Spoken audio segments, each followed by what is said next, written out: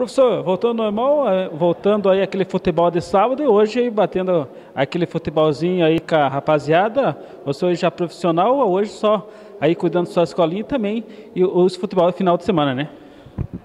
Primeiro é um prazer, né, estar novamente voltando à atividade, dentro dos protocolos municipais, das, das restrições que estamos tendo no, no, no momento.